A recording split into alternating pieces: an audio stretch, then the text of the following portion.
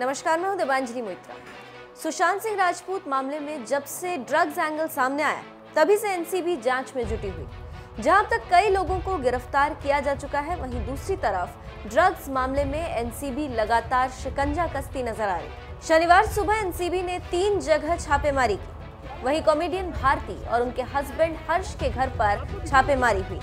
बताया जा रहा है कि भारती के फ्लैट से कुछ मात्रा में गांजा बरामद हुआ है और अब दोनों को पूछताछ के लिए एनसीबी के ऑफ़िस ले जाया गया। सूत्रों की माने तो मुंबई के वर्सोवा, लोखंडवाला और सबब में छापेमारी की गई। भारती सिंह की बात करें तो उनसे और उनके पति से इस मामले पर पूछताछ की जा रही रिपोर्ट्स में बताया जा रहा है कि एक ड्रग्स पेडलर ने भारती का नाम लिया था, जिसके बाद एनसीबी ने उन्हें शिकंजे में लिया रिपोर्ट्स में बताया गया है कि एनसीबी ने भारती और हर्ष से पूछा है कि आखिर उनके घर पर गांजा कहाँ से आया? कौन इसका इस्तेमाल करता क्या आप दोनों इसका सेवन करते हैं?